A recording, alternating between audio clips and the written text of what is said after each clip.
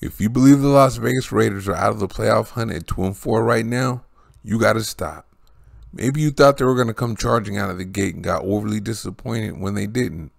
I thought the Raiders would be 3 and 3 at this point before the season started.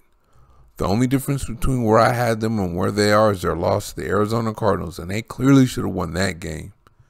It takes time for players to adapt to new schemes and for coaches to adapt their schemes to the players.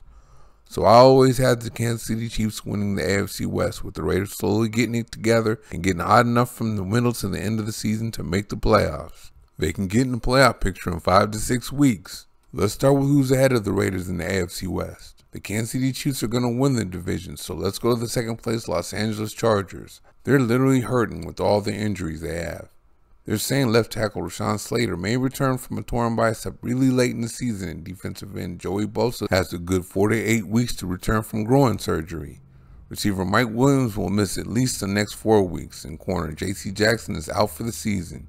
Their next five games are at the Atlanta Falcons, at the San Francisco 49ers, home for the Chiefs, at the Arizona Cardinals, and the Raiders in Las Vegas. Of course, the Raiders are at the New Orleans Saints, at the Jacksonville Jaguars, home for the Indianapolis Colts, at the Denver Broncos, and at the Seattle Seahawks.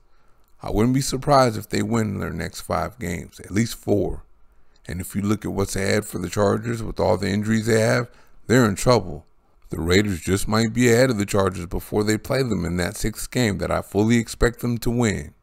Also ahead of the Raiders for the three wild card spots are the 5 and 2 New York Jets, the 4 and 3 Miami Dolphins, the 4 and 3 Cincinnati Bengals, the 3 and 3 Indianapolis Colts, and the 3 and 4 New England Patriots. That's five more teams for the Raiders to fight for those three spots. I don't think this Jets thing is going to last as they play the New England Patriots twice and the Buffalo Bills twice in the next six weeks. They're home for the Chicago Bears and at the Minnesota Vikings too. The Jets are going to fall off. The Dolphins will still be there, though. They play the Detroit Lions, the Bears, the Cleveland Browns, the Houston Texans, the 49ers, and the Chargers. The Bengals are going to be a little different without Ja'Marr Chase the next four to six weeks with the hip injury. They got the Carolina Panthers at home, at the Pittsburgh Steelers, at the Tennessee Titans, at the Chiefs, and at the Browns. The Colts got the Washington Commanders at home, at the Patriots, at the Raiders, at home for the Philadelphia Eagles and Steelers, and at the Dallas Cowboys. They're going to get scratched up over that stretch. Then there are the Patriots with two games against the Jets, the Colts, Vikings, Bills, and Cardinals over the next six weeks. That's a pretty tough stretch. It's crazy how they did the schedule. The Raiders were in hard right away with the new team and systems, so they made mistakes and lost games while the teams ahead of them were on the easier parts of their schedule.